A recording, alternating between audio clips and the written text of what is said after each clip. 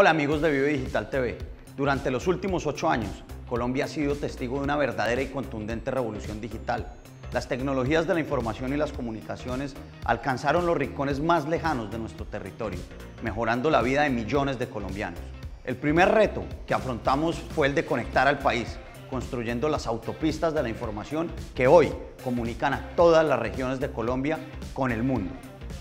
En efecto, para agosto del año 2010 teníamos un país con un notable déficit de conectividad, pues tan solo 287 municipios estaban conectados a Internet.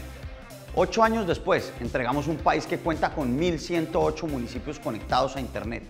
Es invaluable lo que esto significa para nuestra gente en términos de acceso a la sociedad de la información y a mejores oportunidades. El país pasó de tener en 2010 2.6 millones de conexiones de banda ancha a un total de 30 millones en la actualidad. Logramos 2.7 millones de suscripciones a Internet fijo en estratos 1 y 2. Encendimos más de 1.582 zonas Wi-Fi gratis para que cualquier colombiano se pueda conectar a Internet desde sus celulares, computadores o tabletas. Instalamos 7.142 kioscos y 910 puntos Vive Digital en todos los departamentos del país para que tanto las personas en las zonas rurales como en las zonas urbanas tengan espacios de acceso a Internet y capacitación en TIC.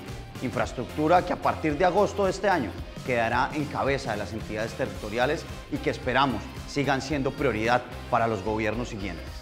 Llevar Internet a todos los rincones de Colombia fue una tarea titánica pero esto era solo un prerequisito para convertir a las TIC en un verdadero motor de desarrollo del país.